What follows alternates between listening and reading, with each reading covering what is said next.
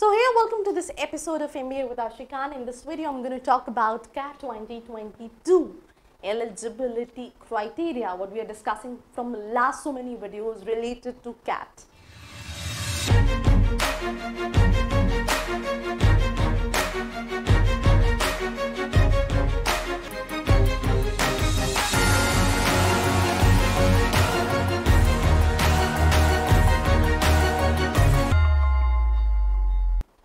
So CAT के registration finally start हो चुके हैं। आज तीन अगस्त है, दस बजे से रजिस्ट्रेशन स्टार्ट है। बट रजिस्ट्रेशन से पहले you need to know these things which are very important that is the eligibility criteria for CAT twenty twenty two age पर आई एम बैंगलोर बिकॉज़ इस साल जो कैट कंडक्ट कर रही बॉडी जो है, जो कॉलेज है that is I M Bangalore सबसे पहले ग्रेजुएशन मार्क्स की अगर हम बात करें, अगर आप इंजीनियरिंग डिग्री के हैं that means B tech B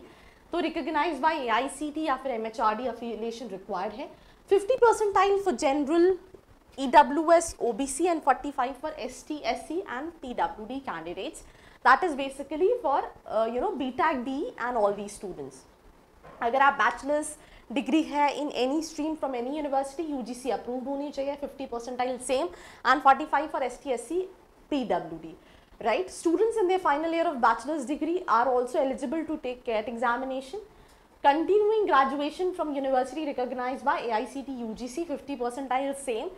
Even अगर आप सी ए सी एस किसी भी यू नो प्रोफेशनल कोर्स को कर रहे हैं institutes of actuaries of India तो उस केस में भी सर्टिफिकेट ग्रांटिंग ऑर्गेनाइजेशन से अफिलिएशन होना चाहिए 50 percent general E W S O B C and S T S C forty five percent now general and non creamy layer other backward groups के बारे में बात करें। तो the candidates must hold bachelors degree और equivalent from university और educational institution recognise by government of India that's the basic need right right? उसके बाद 50 प्रतिशत होना चाहिए किसी भी स्ट्रीम का हो right candidates must be in their final year of graduation और awaiting for result right candidates must have professional degrees like CS, CS with minimum 50 percentile aggregate. I think it's same like last slide. Now SC, ST and personal PWD, person with physical disabled. So S T S C forty five percent होना चाहिए graduation में या तो final year वाला भी बच्चा apply कर सकता है या फिर जिन्होंने प्रोफेशनल डिग्रीज कर रखी है वो भी अप्लाई कर सकता है। Not even this you know lawyers doctors you name it anybody can apply for you know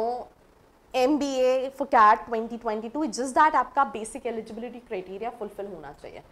now equivalent degree क्या है right in case the marking scheme of any candidate bachelors degree is in grades और C G P ए अगर किसी की degree जो है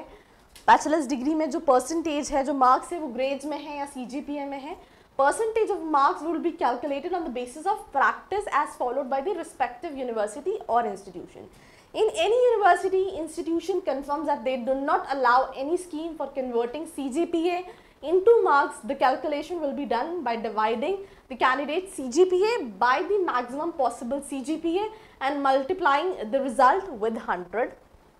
Calculate करने के लिए होता है कई बार जैसे फॉर एग्ज़ाम्पल बच्चे का six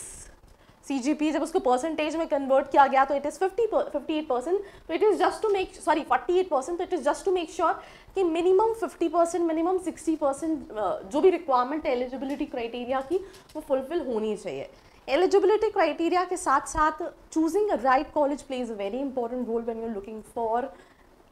entrance examination when you looking for specific colleges. So अगर आपके दिमाग में कोई भी क्वेश्चन है related to one all colleges you can target नीचे जो प्रोफ़ाइल एनालिसिस फॉर्म दिया है, उसको फिल करके भी आप डिटेल्स ले सकते हैं. Now who is not eligible to apply for CAT examination right अगर किसी का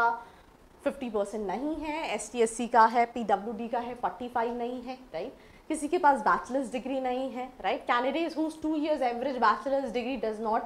make up to fifty percent, वो भी एलिजिबल नहीं है कैट देने के लिए। उसके अलावा जो स्टूडेंट फाइनल ईयर में नहीं है या फिर बैचलर डिग्री होल्ड नहीं करते हैं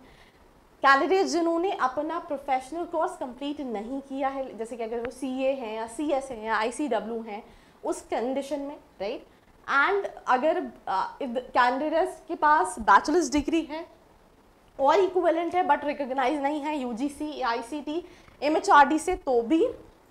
जो है वो नहीं दे सकता कैट नाउ रिजर्वेशन क्राइटेरिया की अगर हम बात करें S C fifteen percent seats S T seven point five O B C twenty seven percent P W D is 5% and rest is for general category. So that is basically the seat criteria. Either we talk about IIMs, old, new, baby. So 27% seats OBC हैं, SC 7 15% है, and ST जो है वो 7.5% है. And that's all about the eligibility criteria for CAT 2022. I hope you like this piece of information and it might can help you not in a much much way but if it is a small way of helping you for your queries related to CAT so do let me know in the comment section below. Apart from it do like share and subscribe